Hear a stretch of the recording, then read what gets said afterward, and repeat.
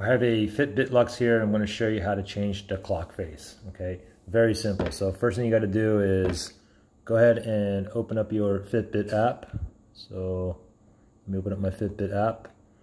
And then from here, what you want to do is just make sure you tap on today. Top left hand side is your avatar. Tap on that. And then tap on where it says Luxe right there.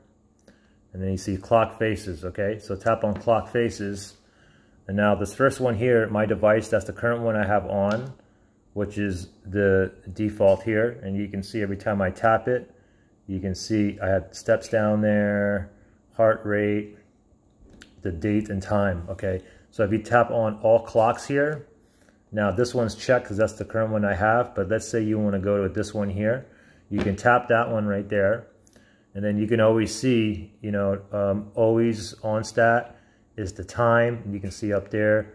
And then you have switchable stats at tap, like active zone minutes, sleep, heart rate, and so on. So if you want it, go ahead and tap on select. Now you can see the watch here. You see a progress bar on there as well as here.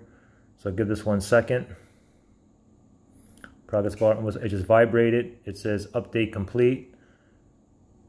And now we should have the new clock face. And you can see we can change the stats right there as well. So very simple. If you want to go ahead and change back to something else, like I'll go back to the default, which I like for myself.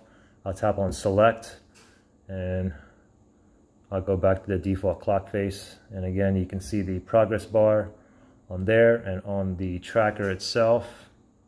So just be patient again. Okay, just about done. Just vibrate it.